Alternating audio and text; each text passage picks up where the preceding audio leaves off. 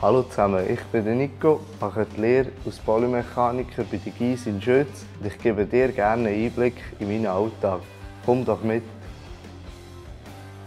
Mir gefallen die abwechslungsreichen Tätigkeiten, die man als Polymechaniker hat. Zu Beginn der Ausbildung lernt man das Fräsen, das Bohren und das Drehen mit konventionellen Maschinen. Schritt für Schritt wird das Programmieren und das Einrichten der CNC-Maschinen beigebracht. Gibt praktisch nichts, was wir nicht herstellen können.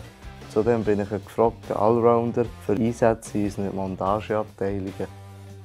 Wenn du gerne handwerklich schaffst, Freude an Maschinen und neuen Technologien hast, dann ist die Ausbildung genau das Richtige für dich. Neben dem handwerklichen Geschick sind ein ausprägtes Vorstellungsvermögen und gute Mathekenntnisse gefragt. Mein Lehrbetrieb GIS AG kennt sich als Hersteller von Elektrokettenzeugen und Kransystemen mit Lasten eben aus. Getreu im Motto «Deine Ausbildung zum Abheben» absolvieren aktuell elf Lehrlinge eine Ausbildung zur Polymechanikerin oder zum Polymechaniker. Mit der Lehrlingsabteilung haben wir sozusagen unseren eigenen Trainingsplatz, wo wir auf modernen Maschinen unser Gelernte anwenden und beweisen können.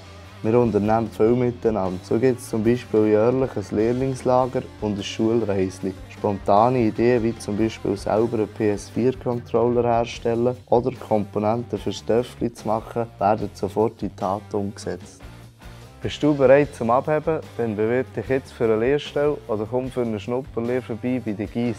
Wir freuen uns auf dich.